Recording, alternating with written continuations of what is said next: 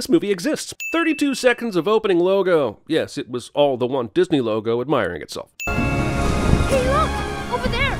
How are these two gender gardeners just now aware of this boat that has obviously been passing them for a while? The sound alone would have given it away. I'd be so happy if ours was that fancy. Why is that? Because it looks better? This boat has seen us through many a storm. So what you're saying is there's no need to do something just because it's bigger, newer, and looks better? Especially when what you've got already does the job perfectly well? Seems like a solid philosophy. Maybe if you sing. It's better when you sing. I bet it's not, though.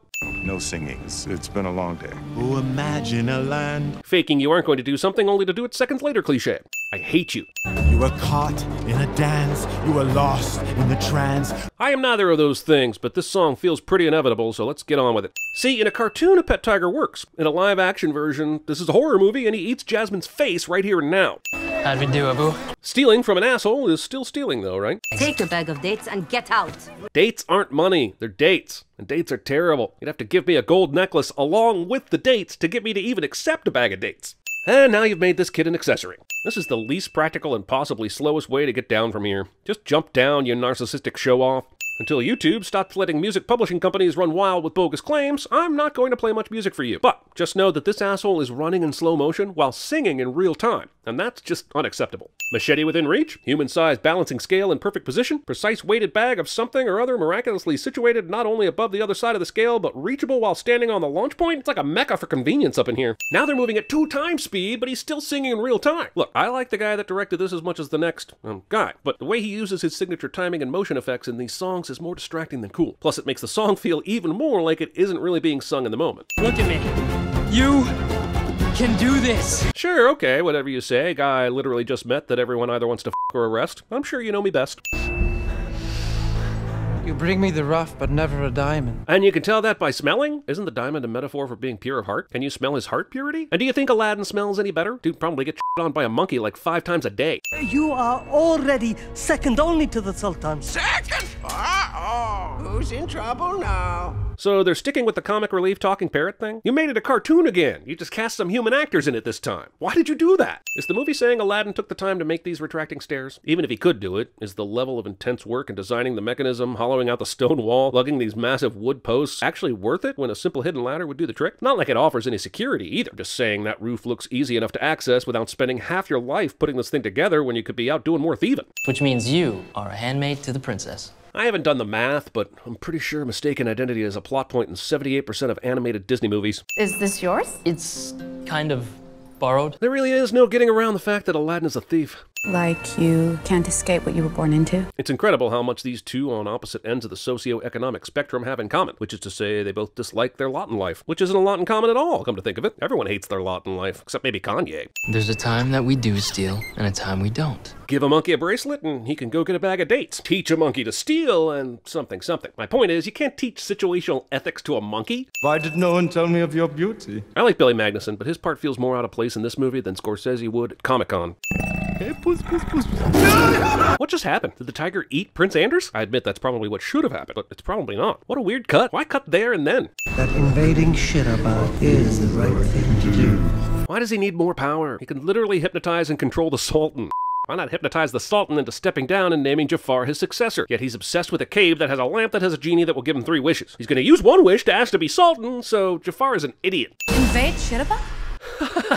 he made the classic mistake of trying to hypnotize a world leader with the door wide open. Walls and borders unguarded will be attacked. I gotta say, making Jafar into a pissy teenager was a bold choice. Here's a new song. It's so bland, it's painful. It's also basically every Disney princess empowerment song rolled into one song. It could easily be titled, Can Belle Paint with Part of Your World While Letting It Go? Dirty monkey. Two things here. Does Iago just hang out by the palace gate now, hoping to see something interesting? And second, why does he even give a literal flying f about Aladdin? As far as the movie is shown, neither he nor Jafar have had any interaction or awareness of him before now. Diamond in the rough. Why? Because his obvious digital double can leap from rooftop to rooftop with uncanny valley ease? How do they know this is the person the cave was talking about? Oh, I'm the princess. Next, I guess she's going to break into song about having always wanted to be a princess. All my life, I've only wanted one thing only to be princess and not just be some low, homely maid. What do they call you? Aladdin. Roll carpets. Steal an apple and you're a thief. Steal a kingdom and you're a statesman. Teach an apple to steal a statesman, and the kingdom will never have to fish a day in its life. You're nothing to her, but you could be. Something. Could be something. You're nothing to her, but you could be something to her. Grammar more good, movie. The Rock cat face clearly said only one may enter, but then he lets in one plus monkey. It's interesting that the cave doesn't think Abu is a person upon entry, but later does think Abu is a person when he touches the treasure. This is a magic carpet. These really do exist. I was just about to mention something about how the movie never really lets us know how this carpet got here, but then I realized they would probably hit on a lot of that in Aladdin's 4 through 7, so carry on. No one will be seated during the free solo portion of the movie. I mean, yeah, but it's not the first time. They've been tripping over that stuff since they came in. Plus, it's a monkey, dude. Overreact much? Aladdin, no! You were supposed to be the chosen one! Man, good thing it was already good at parkour before this. Aladdin survives this. Could you give me a hand?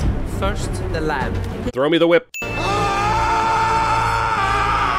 Ah! Genie, wishes, lamp, none of that ringing a bell. No, it's all very, very familiar. In fact, it rings all the same bells. All I'm hearing are bells. Can someone tell Disney to stop ringing so many bells? You ain't never had a friend like me. And there ain't never been a force of nature like Robin Williams. I like Will Smith, but it doesn't matter who you put in this role, it would pale to what Robin did, and I miss him like crazy. You ain't never had a friend like me.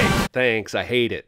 The whole song was the, the instructions. Was it though? Because honestly, it sounded like a long list of how amazing you are, with zero instructional information on how the whole thing works. It would be like if someone asked the president how the government works, and he just responded by bragging about how great he was and all the stuff he owns. Ridiculous, right? Oh, look, hand drawn characters from this story. I don't know about you, but I wonder if you had done this movie with classic animation, if the fantastical elements of the story might have been better captured. Ah, well, there's always next time. Do we need the top knot? That's my little cherry on top. This movie and I have dramatically different ideas of what funny means. And the director said, let's have Will Smith take a bite of an apple and then throw it away, so that the audience will know we are all assholes for putting up with this. The magic flying carpet is amusing itself by building a sandcastle, and I have questions. Like, this sand is dry as hell. Can't shape that without adding some fing water. I'm about to fabulize you. That's a felony in six states. Not sure about Agrabah, though. But won't people recognize me? Nobody will recognize you. That's how genie magic works. Oh. He already made him a prince, so adding the entourage seems like a kindness outside the scope of the wish. I mean, Genie was the one that said to be careful with the wording. Dude didn't ask to be a prince with an entourage, now did he? Huh? Oh no, a T-Rex is coming! What? It's only an elephant? This is Jafar and the Sultan having tea, and that elephant still has to walk through the city to get to the palace, so their would not be vibrating right now.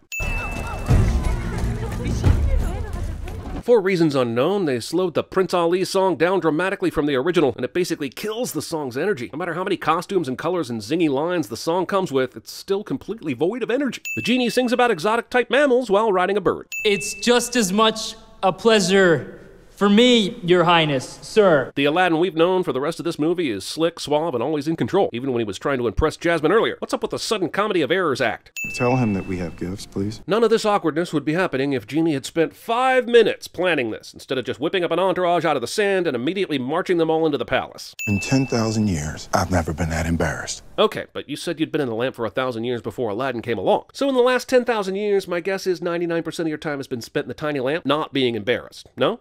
Look at her handmaid. Does adding a love interest really do anything for the genie story? Narratively? Thematically? Or is it just fun to watch Will Smith try and score some Handmaid's Tale? Princess Jasmine! You! You're still here. Jasmine would be excellent at cinema sins. Look, Genie, when I said blow me, this is not what I meant. Seriously, though, I'm glad we've reached the portion of the film where the magical being does obviously magical things inside of a crowded room that doesn't even react. It's my favorite. Oh, so it's like Upgrade, but the Stabby Stabby is replaced by Dancy Dancy? To be honest, that seems more of a downgrade. Also, Genie is controlling him, making him dance, because Aladdin doesn't know the dance everyone is doing. But a genie that lived in a lamp for the last thousand years does know this dance? This is an offensive misunderstanding of human relationships. Genie is treating Aladdin and Jasmine like a pair of blue-footed boobies, forcing this awkward-ass mating dance that will probably still work because this movie hates my soul. Maybe I went a tad far with the backflip, but that dance may be the best thing you ever do in your life. This genie is all about don't ruin this party for me, I like to party, and that girl is cute, and you're lame, that dance was awesome. Whereas the original genie showed genuine affection for Aladdin right from the beginning, so that later when Genie saves Aladdin's life, it meant something. Whereas in this movie, it'll come out of nowhere. How did you get past the guards? I snuck past. All 48 of them. Even the ones that eat fire? Impressive. In what way does eating fire make you better at being a palace guard? Why does that make it more impressive? Would you like to take an evening stroll? Just the two of us? Yep, just the two of you, building castles in the sand, getting jiggy with it, and wondering why parents just don't understand. Genie, I need to find a bauble. My other brother. Since when do genies come with built in walkie talkies? This power is arbitrary and convenient and will be ignored later when it would be useful. Sin! Why would a princess need this many apples in her bedroom? Unless she's a horse, she's maybe eating one a day, and 70% of these will go bad before she gets to them. No standing on the magic carpet, Aladdin. Anachronistic flight attendant Genie made that very clear in his pre flight checklist. Here's the updated A Whole New World sequence, and while I am getting goosebumps remembering how amazing the original scene is, this cheap knockoff isn't getting any sins off from me, so I'm going to sin it for not being the original. You saw us arrive with dancers, an elephant, and a magic carpet. But she was just shocked a few minutes ago when she first saw it, so I'm pretty sure she didn't see you arrive with that carpet. Sorry, Denny boy, the carpet don't match the truth. I hate this specific live action movie's version of this parrot so much. I want it to die in a garbage disposal. I want red feathers flying in the air, tinged with the spattered blood of this fing bird. Gentlemen, I, I think there's been some sort of confusion. My only confusion is why you aren't making one of those long distance genie calls to Big Blue right now. If I throw you off of that balcony, and you are who you say you are, you will die a watery death. If you survive, it can only be because of the lamp. Really? What if he's as good at breaking rope ties as he is at stealing? What if the genie decides not to help him? Jafar really thinks he has a whammy of a situation here, but there are all kinds of variables the movie would like you to overlook. Goodbye, Aladdin. No. Also, according to Jafar's theory, Aladdin is the only person alive that knows where the lamp is. So killing him is hella stupid if Jafar really wants the lamp. I can't get you out of this unless you make a wish. I said it when we seen the original, and I'll say it again here. Yes, you can. You got him out of the cave without a wish. You used magic for him as a favor several times already. You absolutely could just save his life right now, and this handcuffed genie routine only exists to put Aladdin down one wish, as well as being one of the lamest excuses for tension in movie history. Also, since I brought it up, this movie for making me sin the exact same things over again. I swear one of these days I'm just gonna do the exact same sins for the new version as the old. If Disney can just regurgitate the same exact stuff, then I should be able to play that game too. Both Jasmine and Genie have spotted Jafar's mind controlling power and stopped it earlier in this film. But for the sake of a finale being set up, both will say nothing right now while it's happening right in front of them. Rosalie, I must apologize. I've watched him say this line five times, and I swear it looks more like Raja is saying that line than the Sultan. Watch it again. I must apologize. It's so convincing that now I'm just mad that Raja doesn't pull a full Aslan and become the central character of the story. Or it's possible this movie is just so boring and bland that at this point I'm amusing myself with whatever the hell pops into my mind and calling it a sin. This is at least the fourth time Iago has just happened to be in the right place at the right time to hear exactly what the plot advancement needed him to. If this movie keeps giving the bird to its plot, I'm gonna keep sinning it. This entire movie makes pickpocketing out to be so stealthy no one ever detects it, and that is a huge lamp, and anyone carrying it would feel it being taken out of their pocket. This needs to die in a chemical fire. I wish to be Sultan of Agrabah. At the risk of being a broken record, why didn't he just mind control the Sultan to change the rules and get himself named Sultan that way? He doesn't have to use a wish on this. You know the law, Hakim. But what does the law say about advisors using genie wishes to make themselves sultan regardless of bloodline? Pretty sure the law frowns on that. So you appealing to the law here makes you look weak and stupid. It's time you start doing what you should have done all along. Stay silent. If only I had a power ballad at the ready that I could sing and address that exact backwards thinking attitude. She seems really passionate about this song, but I can't hear it because of how bad the song sucks. Or will you do what is right and stand with the people of Agrabah?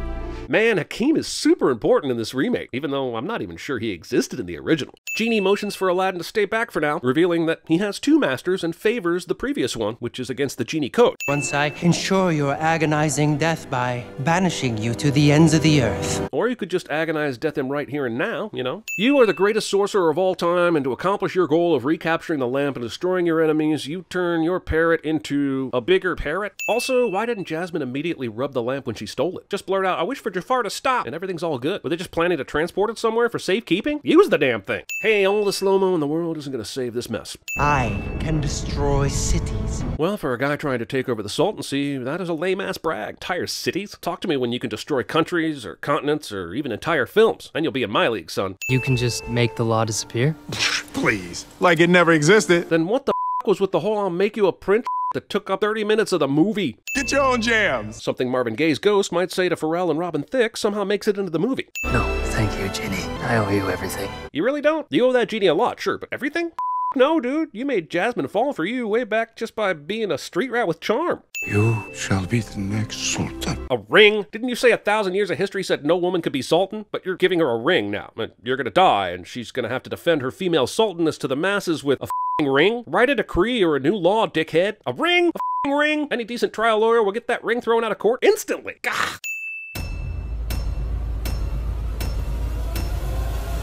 Want to hear the most annoying sound in the world? Mm. Are you a person who loves this show but doesn't own any clothes? Are you sitting there completely nude wondering if there's any way you can display your love for CinemaSins properties while also presenting yourself in an acceptable way in a public place? Good news, everyone! We here at the Sins team have launched a new merch store with the help of Teespring. With these products, you can cover your body in a multitude of ways. Want something a little breezy?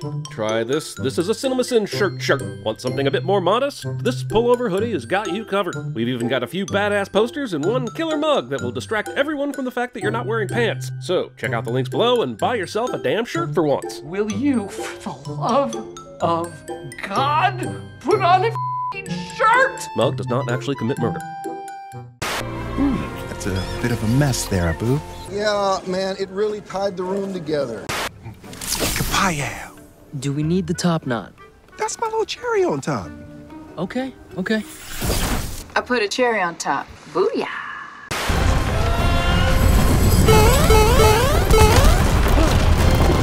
Look at me. Look at me. I'm the captain now. This is Sparta!